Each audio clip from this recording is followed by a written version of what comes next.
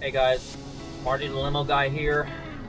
So, um, if you're still thinking about getting into the limousine business uh, as a chauffeur, a um, couple of things to keep in mind. If you uh, don't like to be around people that are very drunk, having a great old time in the wee hours of the morning, maybe driving a party bus or a limo might not be your thing because you will come across that. Uh, people know that, oh, I'm not going to be driving, so that's why we get the limo and or the drink like crazy. And they do, and I had no problem with it. That's why I still keep doing it. I don't have a problem with that. So it's not it's not a problem for me, so I do the work.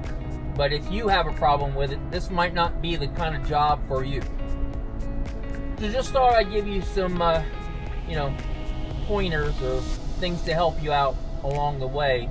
Um, if you do work for a limo company and you're thinking about, hey, I want to learn limos and I want to start driving limos, I want to start making that extra money, I don't want to do the night outs and things. That's what you're going to come into. That's what you're going to run into. You're going to have those issues and you have to keep your calm and, and, and, and cool, calm, and collected, you know, because uh, those things will happen. So, quick tip for you. Um, if you're going to be doing, for the chauffeurs out there, if you're going to be doing like a party bus run, um, some of the party buses these days don't have that big of a bar area.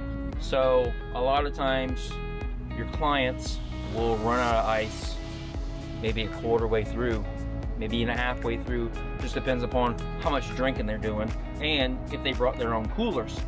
A lot of them will bring their own coolers with their beer and their drinks or whatever. So basically what I do is I grab a big cooler, I put it in the back. Um, that way it's got enough ice in it um, that will last me throughout the whole night. That way they run out of ice, you don't have to keep on stopping at stores in order to get ice or have them pay for ice. You provide the ice. It'll give you some more tips.